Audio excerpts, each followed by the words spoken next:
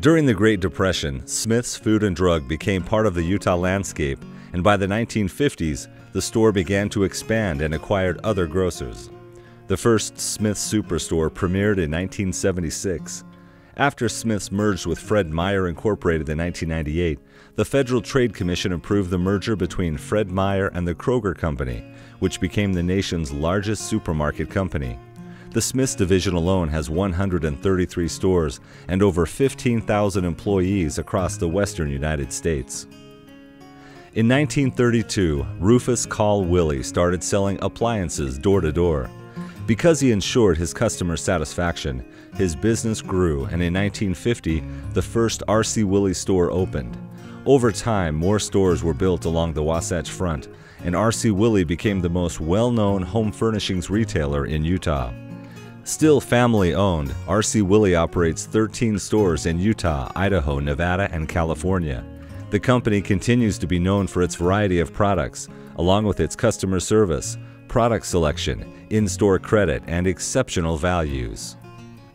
One of the largest commercial insurance agencies in the West, the Buckner Company was founded in the middle of the Great Depression by Elmer Ray Buckner. The company is still family operated today. The tradition of placing customer service ahead of profits has survived over 60 years, and it shows. Their client retention rate is 95%, and customer service is just one reason why. Knowledgeable and experienced professionals make up the Buckner Company's staff, providing the best advice and service available. The Intermountain West Premier Orchestra, the Utah Symphony, joined forces with the Utah Opera in 2002 after a decades long tenure as separate companies. Both companies have shaped the artistic landscape of Utah by presenting artists and performances of exceptional scope and quality. For over 20 years, Utah Symphony and Utah Opera's Deer Valley Music Festival sets a standard of high quality and musically diverse experiences in casual settings of unparalleled natural beauty. USUO also reaches more students than any other arts organization in the country. Blue Cross Blue Shield of Utah was established as Utah's first health insurance carrier 70 years ago. The Blues in Utah experienced immediate success and growth as Utahns recognized the importance of health insurance.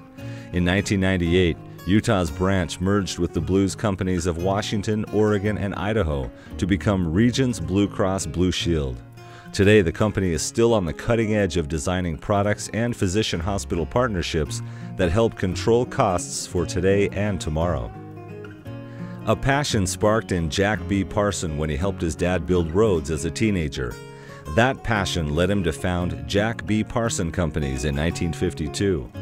In 2001, Parsons Company merged with Salt Lake based Staker Paving and Construction to become Staker Parson Companies, one of the region's leading suppliers of landscape products and construction services.